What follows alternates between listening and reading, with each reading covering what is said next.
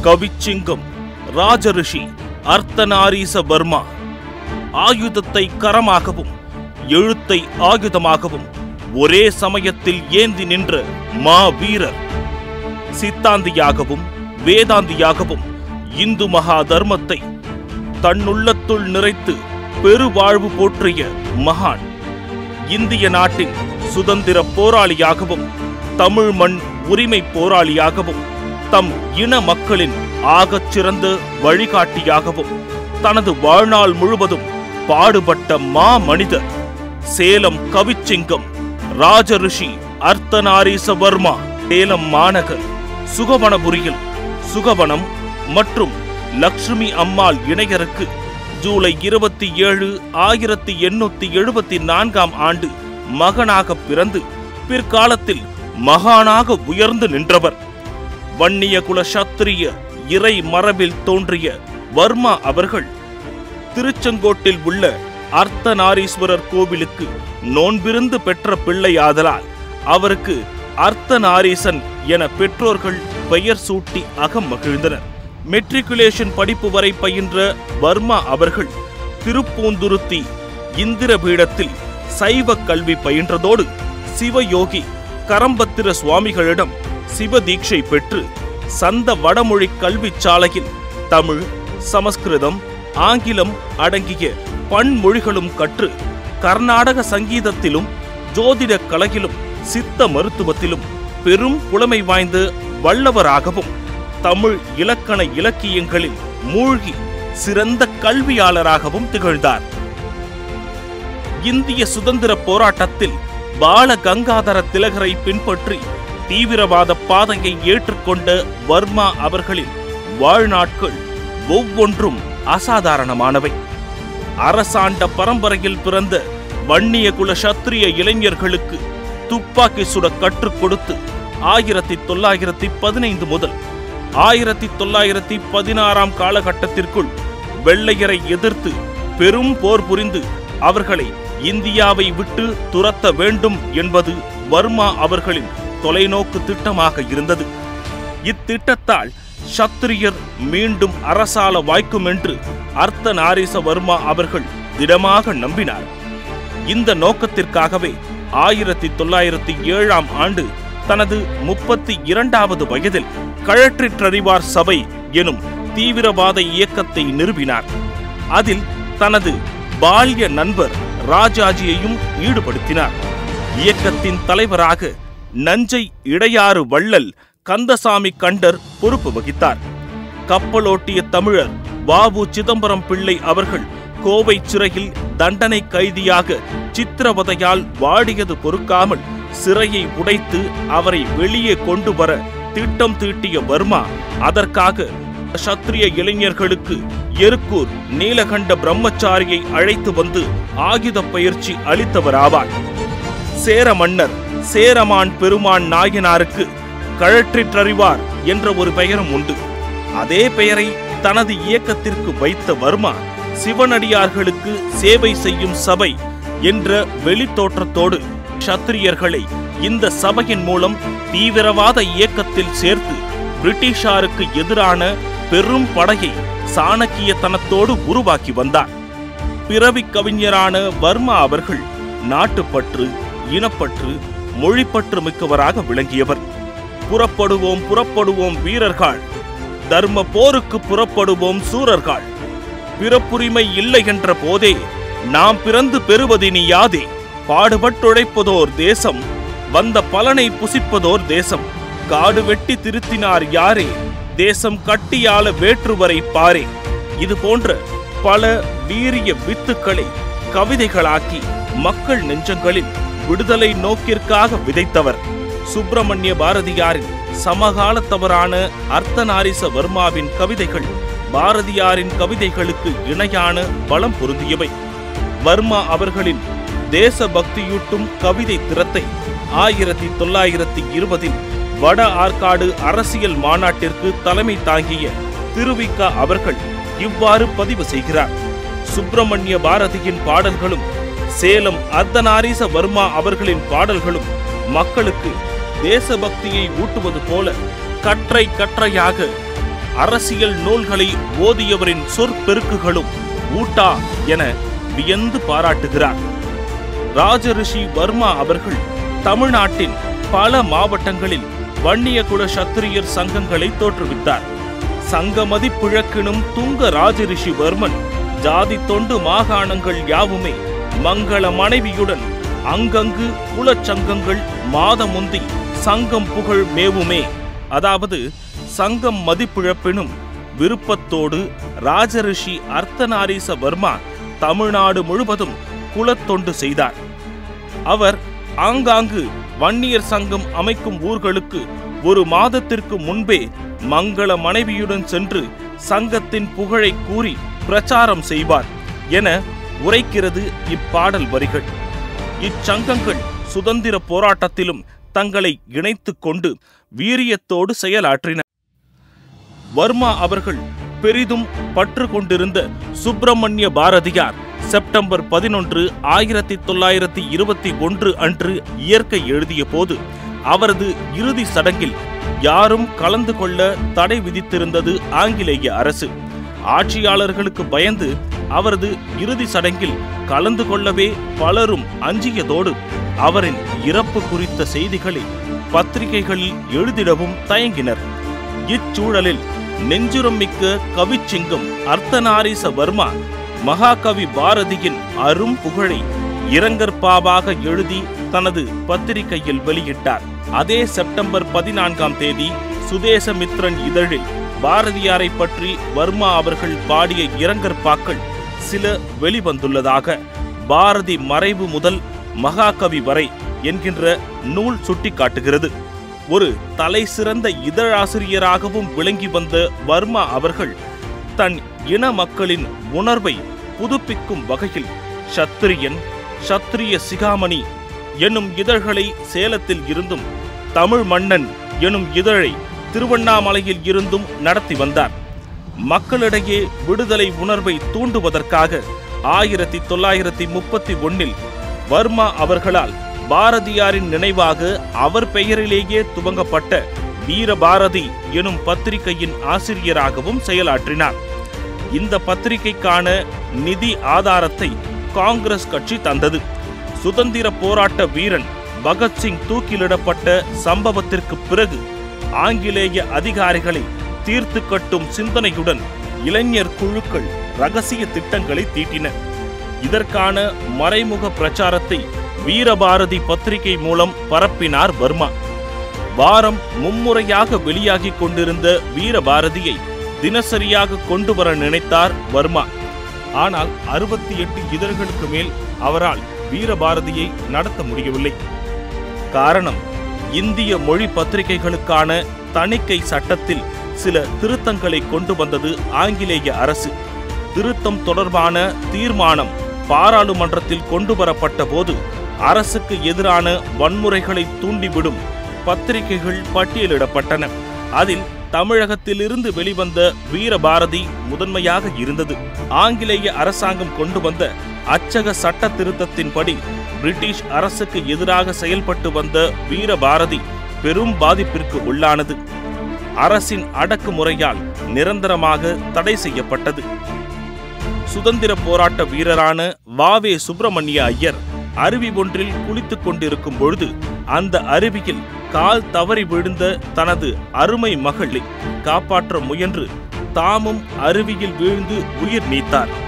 இதனை அறிந்த வர்மா அவர்கள் தாம் நடத்திய சத்திரியன் பத்திரிகையில் ஓரிதழ் முழுமையும் வாவேசு ஐயருக்கான இரங்கல் உரைக்காகவே ஒதுக்கினார். இது விடுதலை போராட்ட வீரர்களிடம் அவர் கொண்டிருந்த மதிப்பிற்கும் மரியாதைக்கும் தக்க சான்றாகும். வர்மா அவர்களால் தனது மரபாகிய சத்திரிய பெண்களுக்கென எழுதப்பட்டதுதான் குலமாதர் கொப்பி பாட்டு எனும் பாடலாகும். இதன் கண் குடும்ப பெண்கள் எவ்வாறு இருக்க வேண்டும் என்பதை இவர் வலியுறுத்துகிறார். வைகரையில் பல் துலக்கி பொட்டணிதல் வாசல் மெழுகி கோலம் போடுதல் குளித்து நிதம் மஞ்சள் பூசுதல் கொழுநரிடம் இனிய மொழி பேசுதல் சுளித்து முகத்தை என்றும் காட்டாதிருத்தல் சொன்ன சொல்லை தட்டி எதிர் பேசாதிருத்தல் பிச்சையென வந்தவரை ஓட்டாதிருத்தல் வருவாய் மீறி செலவு செய்யாதிருத்தல் அருமை பண்டங்களை இறைக்காதிருத்தல் அன்பனிடம் ஒன்றையும் மறைக்காதிருத்தல் முதலான அனைத்தும் குலம் வாழ துணை புரிபவை என்பது பெண்களுக்கு வர்மா கூறும் அறிவுரைகளாகும். மகாத்மா காந்தியடிகள் டிசம்பர் பதினேழு ஆயிரத்தி தொள்ளாயிரத்தி முப்பத்தி நான்கு அன்று திருவண்ணாமலை வந்தபோது பொதுமக்கள் சார்பாக வரவேற்பு பத்திரம் தயாரித்து தந்தவர் வர்மா. தேச விடுதலை போராட்டத்தில் தீவிரவாத தலைவராக திகழ்ந்த திலகர் பக்கம் நின்ற வர்மா திலகர் மறைவிற்கு பிறகு காந்தியின் தலைமையை ஏற்றுக்கொண்டார். விடுதலை இயக்கமான காங்கிரஸில் காந்தியையும் கதரையும் மதுவிலக்கு கொள்கையையும் மட்டுமே தான் ஏற்றுக்கொள்வதாகவும் காந்தியின் அகிம்சை தத்துவத்தை ஏற்க மறுப்பதாகவும் பொதுவெளியில் அறிவித்து தீவிரவாதியாகவும் வீர சத்திரியராகவும் விளங்கியுள்ளார். மிதவாதம் என்பது மீசை இல்லாதோர் வாதம் எனும் கோட்பாட்டை தனதாக்கிக் கொண்டு காங்கிரஸில் செயல்பட்டவர் வர்மா. தமது இறுதி காலம் வரையிலும் கதர் ஆடையை மட்டுமே அணிந்த காந்தியவாதியாக திகழ்ந்தவர். நாடு முழுமையும் சென்று மதுவிலக்கு பிரச்சாரம் செய்தார். அதனை வற்புறுத்துவதற்கென்றே மதுவிலக்கு சிந்து என்ற ஒரு பிரத்யேக நூலையும் எழுதியுள்ளார். மதுவிலக்கிற்காக அயராது போராடிய வர்மா அவர்கள் சேலம் மாவட்டம் மேச்சேரியில் முன்னூறு கிராமங்களில் இருந்து ஐம்பதாயிரம் மக்களை ஒன்று திரட்டி மாபெரும் மது ஒழிப்பு மாநாட்டை நடத்தி காட்டினார். மாநாட்டில் தனது பள்ளி தோழரான அன்றைய முதலமைச்சர் ராஜாஜியை கலந்து கொள்ளவும் செய்தார். பின்னாளில் சென்னை மாகாணத்தில் சேலம் மாவட்டத்தில் மது விலக்கை நடைமுறைப்படுத்திய ராஜாஜி அவர்களுக்கு பெரும் தூண்டுகோலாக அமைந்தது அர்த்தநாரீச வர்மா அவர்கள் நிகழ்த்திய இந்த மதுவிலக்கு மாநாடுதான். இந்தியாவிலேயே முதல் முதலாக ஆயிரத்தி தொள்ளாயிரத்தி முப்பத்தி ஏழில் தான் சார்ந்த சேலம் ஜில்லாவில் மதுவிலக்கு சட்டத்தை செயலாக்கி காட்டியதில் பெரும் பங்கு வர்மா அவர்களையே சாரும். நீதி கட்சியினரின் ஆட்சி காலத்தில் அதாவது டிசம்பர் நான்கு ஆயிரத்தி தொள்ளாயிரத்தி முப்பத்தி நான்கு அன்று ஆண்ட பரம்பரையினர்களாகிய வன்னிய குல சத்திரியர்களை குற்ற பரம்பரை சட்டத்தின் கீழ் கொண்டு வந்தனர் ஆட்சியாளர்கள். சட்டம் அறிமுகமான நாள் முதல் அதனை தகர்த்தெறியும் நாள் வரை அர்த்தநாரிச வர்மா படையாட்சிமார்களின் பரம துக்க தினமாக அறிவித்து போராடினார். இவரை ஒத்த சிந்தனை கொண்ட பெரியவர்கள் பலரும் மக்களை ஒன்று திரட்டி போராடியதன் விளைவாக ஆயிரத்தி தொள்ளாயிரத்தி முப்பத்தி ஐந்து டிசம்பரில் அச்சட்டம் அரசாங்கத்தால் திரும்ப பெறப்பட்டது.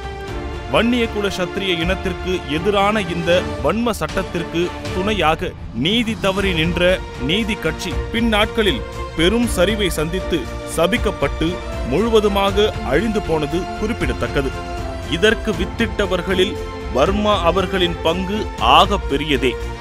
மொழி வழி மாநில பிரிவின் போது தமிழர் பூமியான சித்தூர் திருப்பதி தலைநகர் சென்னை ஆகிய பகுதிகளை அபகரிக்க ஆந்திரர்களும் தேவிக்குளம் பீர்மேடு பகுதிகளை அபகரிக்க கேரள தலைவர்களும் போராடினார்கள். தமிழ்நாட்டிலோ திராவிட தேசியம் பேசிய தலைவர்களும் இந்திய தேசியம் பேசிய தலைவர்களும் வலுவாக இருந்தது போல தமிழ் தேசிய உரிமைகளை பேச வலுவான தலைவர்கள் இல்லை. இந்த சூழலில் மாநில பிரிவினை பேச்சுவார்த்தையின் போது சனியன் பிடித்த சென்னை ஒழிந்தால் நல்லதெனவும் தேவிக்குளம் பீர்மேடு ஆகியவை மலையாள தேசத்தையே சேரும் என்றார் பணிக்கர். சரி என்று சொல்லிவிட்டேன் என ஈவே ராமசாமி தமிழ் மண்ணுக்கு பச்சை துரோகம் செய்தார். இன்னொரு புறம் குளமாவது மேடாவது எல்லாம் எங்கே போகுதுன்ன இந்தியாவுல தானே இருக்குதுன்ன என தனது பாமரத்தனத்தை அதிமுக்கியத்துவம் வாய்ந்த எல்லை பிரச்சனையிலும் வெளிப்படுத்தி இந்திய தேசியம் பேசிய காமராஜரும் தமிழ் மண்ணுக்கு பெரும் துரோகம் செய்த நிலையில் இதனை கடுமையாக எதிர்த்த வர்மா அவர்கள் சுத்தமான தமிழ் மண் உரிமை போராளியாக நின்று களமாடினார். சென்னை நகர் திருப்பதி சித்தூர் எல்லாம் செம்பியன் மண்டலம் என்றே அரைபறை. அன்னை தமிழனங்கென்றே அரைபறை. ஆந்திரர்க்கு ஏது சொந்தம் அரைபறை. சென்னை நகர் நமதென்றே அரைபறை. திருப்பதி சித்தூரும் நமதென்றே அரைபறை. தமிழர்க்கு தமிழகம் என்றே அரைபறை. இமியளவும் இழந்திடோம் என்றே அரைபறை என தனது தமிழ் முரசு கவிதை கொண்டு போர் முரசு கொட்டுகிறார் அர்த்தநாரீச வர்மா அவர்கள். தமிழில் வரலாறு தெரிந்த காலம் தொட்டு கல்வியின் தேவையை நம் முன்னோர்கள் வற்புறுத்தி வந்துள்ளனர். சமுதாயத்தின் வெகு மக்களுக்கு அன்று தொட்டு இன்று வரை கல்வி மறுக்கப்பட்டு வருவது மறுக்க இயலாத வரலாற்று உண்மையாகும். ஆயினும் இவற்றை மீறி அனைவருக்கும் கல்வி இன்றியமையாத ஒன்று. இருபதாம் நூற்றாண்டில் நம்மிடையே வாழ்ந்து மறைந்த சமுதாய சிந்தனையாளரான அர்த்தநாரீச வர்மாவின் கல்வி சிந்தனை இதுவே. கல்வியை கற்க பள்ளிகள் வைப்பீர். இழுக்குகள் நீங்கவும் ஒழுக்கங்காணவும் நயமாய்ச் சொல்வீர் பயமே வேண்டாம். பகலிற் படிக்க பாங்கில்லா ஊர்களில் இரவு பள்ளிகள் ஏற்பாடு செய்வீர் என இளைஞர்களுக்கு அறிவுரை கூறினார். வர்மா அவர்கள் கவிச்சிங்கமாக விளங்கிய காரணத்தினால் இவரது இன்னபிற நூல்களும் கவிதை நடையிலேயே அமைந்துள்ளன. இவர் எழுதிய நூல்கள் அரசர்குல ஆசார சிந்து கதர்பாட்டு கரிகார் சோழன் குலத்து உபதேசம் குலமாதர் கொப்பிப்பாட்டு கொடிப்பாட்டு சங்கமகா காவியம் சட்டதிட்டங்கள் சத்திரிய சூடாமணி சத்திரிய தீபம் சம்புவராயர் வரலாறு ஜாதி சங்கரக சாரம் ஜாதி வேதங்கள் செய்தி திரட்டு படையாச்சி பாட்டு பத்து உபதேசங்கள் பள்ளியர் பரத்துவம் மதுவிலக்கு சிந்து மழவரோதயம் மாணவரில்ல மணிமாலை வன்னிக்குலோத்கர்ஷிய தீபிகை வன்னியர் வன்னியர் வம்ச பிரகாசிகை வாலிபர் கீதம் என வரிசைப்படுத்தி காட்ட முடிகிறது. தனது எண்பத்தைந்தாவது வயதில் தமிழ் மன்னர் குலமறை எனும் பெயரில் தமிழ்நாட்டு அரசர் மரபு வரலாறு எழுதத் தொடங்கினார். இது பற்றி அவர் தனது தமிழ் மன்னன் மாத இதழில் எமது கடைசி வெளியீடாக ஓர் புத்தகம் தமிழ் மண்ணின் அரசர்களான வன்னியகுல சத்திரிய மரபினர்களின் வரலாற்றை வெளிப்படுத்த முடிவு செய்து எழுதத் துவங்கிவிட்டேன்.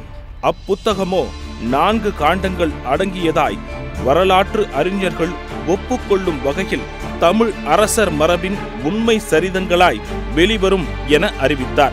துரதிருஷ்டவசமாக அப்புத்தகம் வெளியாகவில்லை என்பது குறிப்பிடத்தக்கது. எழுத்துலகில் இத்தகைய அரும் பணிகள் பலவற்றை செய்த வர்மா அவர்களுக்கு கும்பகோணம் தமிழ் மன்னர்குல சங்கத்தார்கள் ராஜரிஷி எனும் பட்டம் வழங்கினர். வடார்காடு ஜில்லா வன்னியகுல சத்திரியர் சங்க வெள்ளி விழா திருவண்ணாமலையில் அக்டோபர் பதினாறு ஆயிரத்தி தொள்ளாயிரத்தி நாற்பத்தி மூன்று அன்று நடந்தபோது ராஜரிஷி அர்த்தநாரீச வர்மா புலிக்கொடி ஏற்றினார். அதைத் தொடர்ந்து அவர் பாடிய கொடியேற்ற சிறப்பு பாடல் ஒன்றில் தாம் சோழர் குலத்தில் அவதரித்ததை மார்தட்டி இவ்வாறு பாடுகிறார்.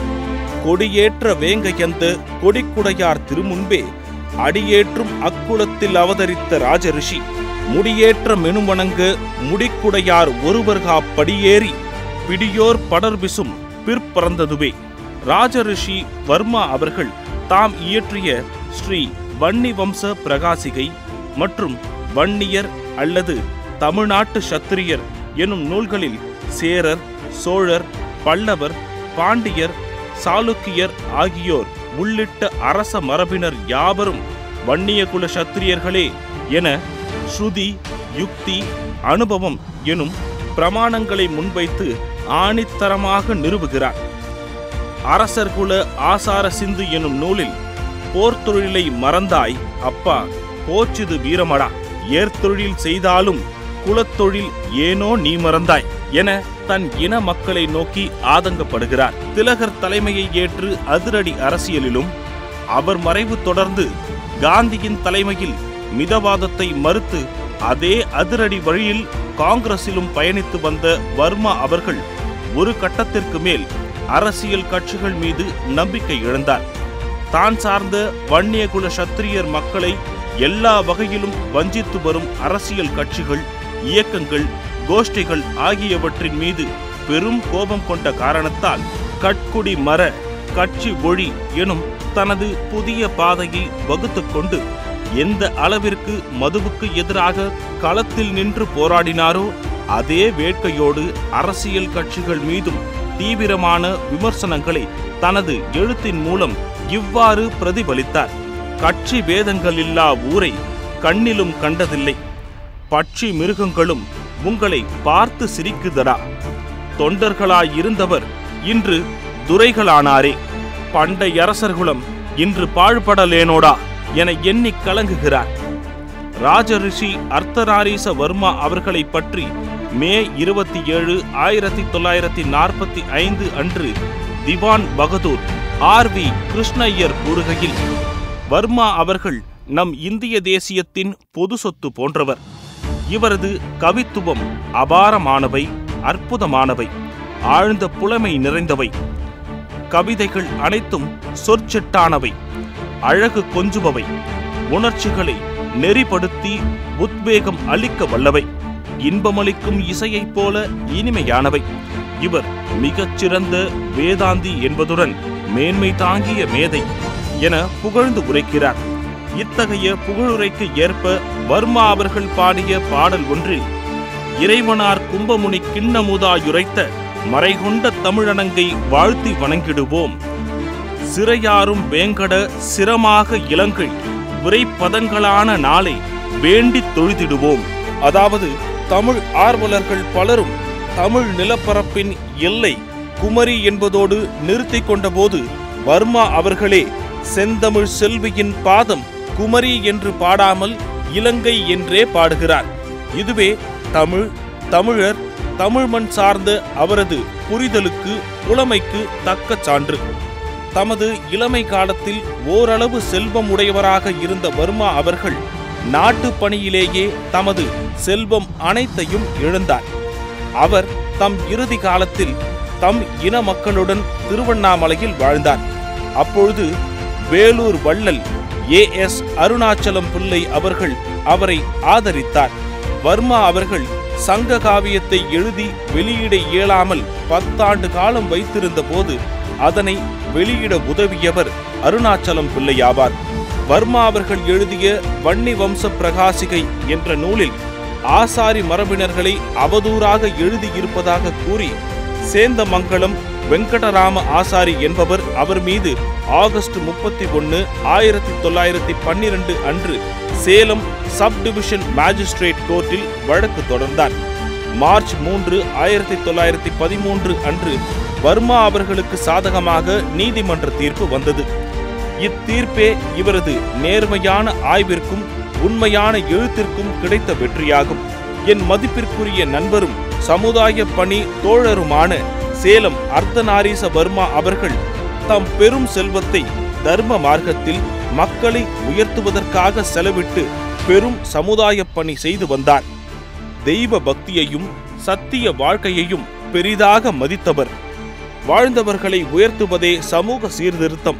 உயர்ந்தவர்களை தாழ்த்துவது அல்ல என்பதை உணர்ந்து செயல்பட்ட மகான் என வர்மாவின் சமூக பணிகளுக்கும் சீர்திருத்த கருத்துக்களுக்கும் வள்ளல் குணத்துக்கும் தமிழகத்தில் இருமுறை முதலமைச்சராகவும் இந்தியாவின் முதல் கவர்னர் ஜெனரலாகவும் பதவிகள் வகித்த ராஜாஜி அவர்கள் வழங்கிய நற்சான்று.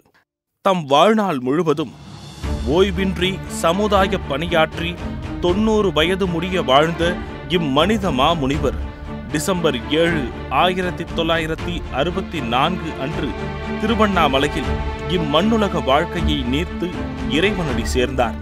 வன்னியகுல சத்திரிய மரபினர்கள் திருவண்ணாமலை கிரிவல பாதையில் ஈசானிய மூலையில் லிங்கேஸ்வரர் கோவில் அருகில் அமைந்துள்ள இவரது சமாதியிலும் தமிழ்நாட்டின் பல்வேறு இடங்களிலும் ஆண்டுதோறும் சத்திரிய குலகுருவான அர்த்தநாரீச வர்மாவிற்கு குரு பூஜை செய்து படத்திறப்பு புகழஞ்சலி அன்னதானம் உள்ளடங்கிய வழிபாட்டை மேற்கொள்கின்றனர்.